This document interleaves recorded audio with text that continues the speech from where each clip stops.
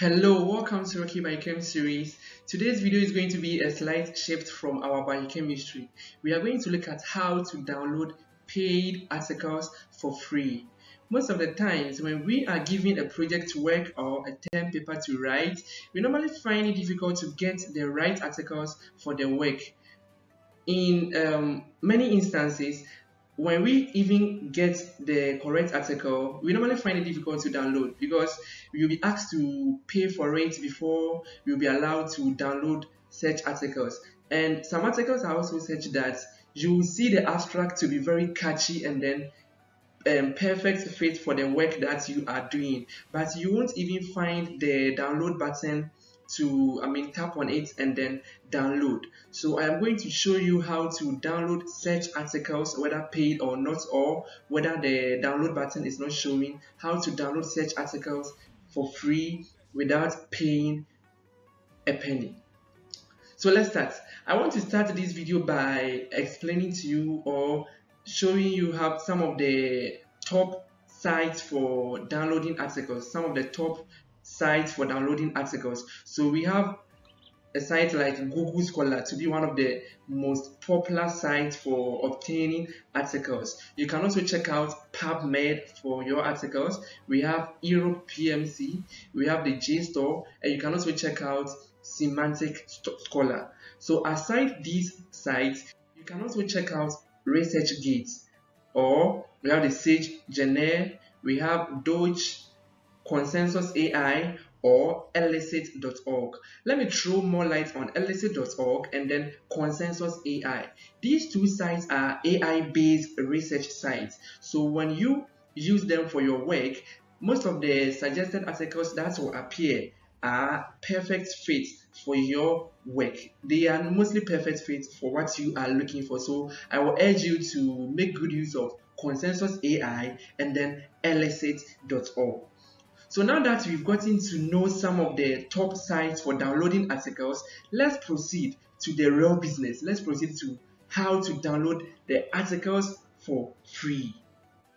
The first thing to do is to open your Google search engine and then key in the name of the article searching site that you want to use. I have mentioned a lot of article searching sites already. You can use Google Scholar, Semantic Scholar, you can check elicit.org, you can check Consensus AI, or you can check JSTOR.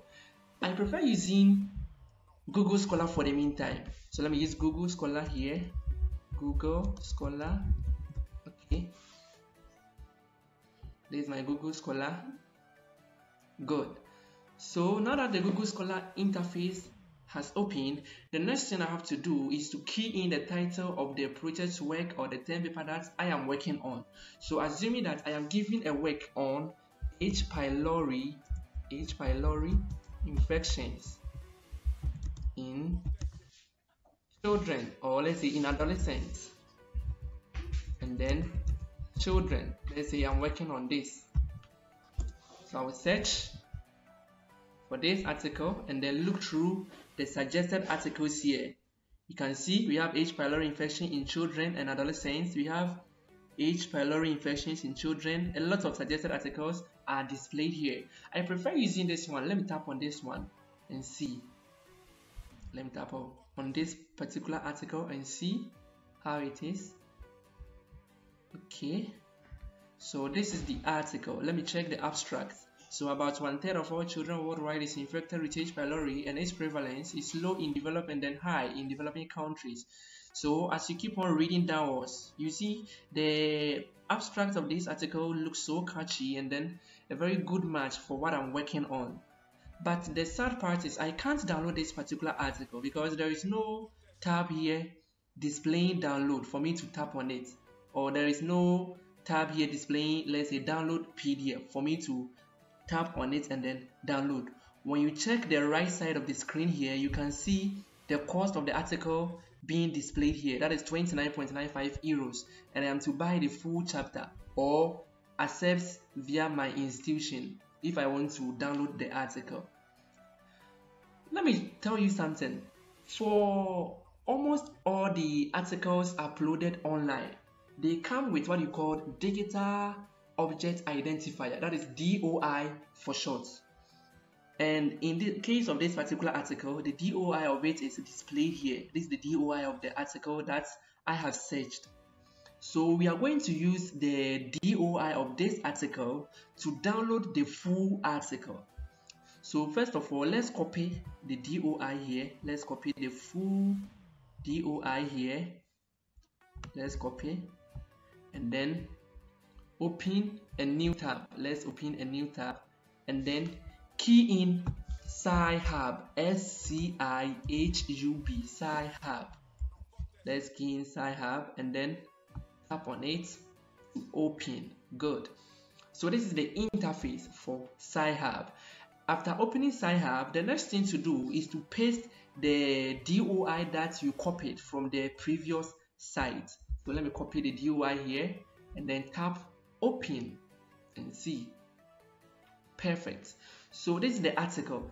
The article is here as we can see. This is the full article. This is the full article. This is the full article. Now that you've gotten access to the full article then we will tap on download.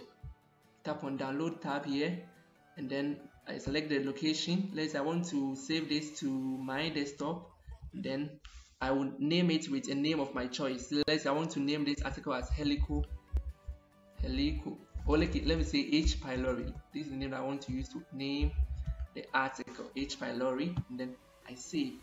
As simple as that, the article has been downloaded. But there are some instances the article uploaded won't come with DOI for you to just copy it and then paste it in Sci-Hub and then download it. There are some instances you won't see the DOI being displayed directly and then making it easy for you to use and to download it.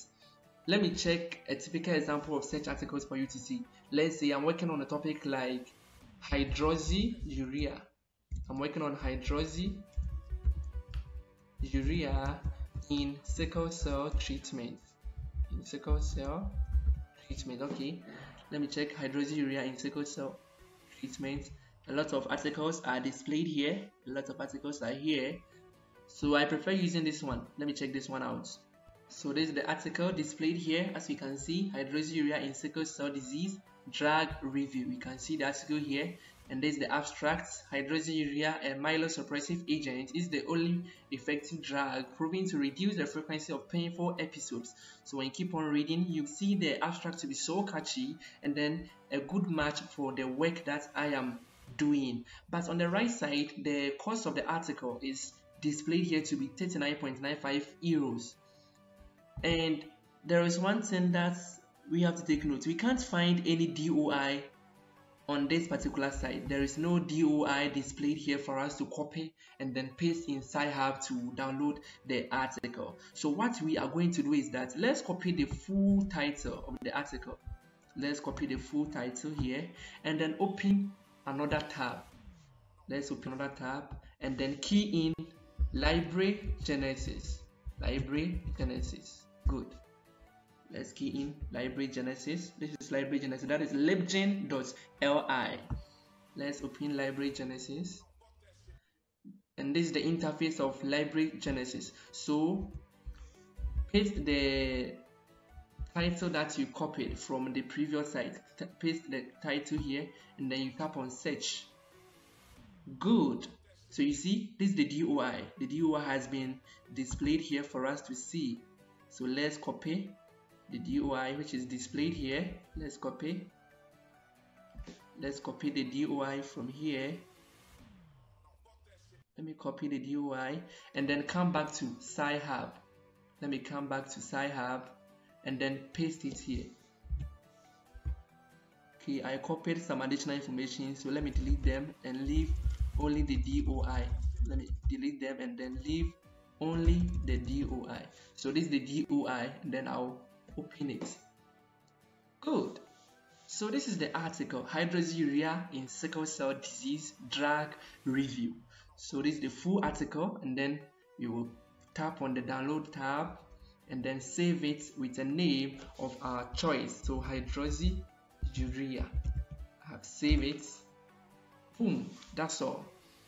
I hope this particular video has been so helpful for you. Why don't you also support me by subscribing to my channel? Thank you very much as you are doing so. See you next time. Bye.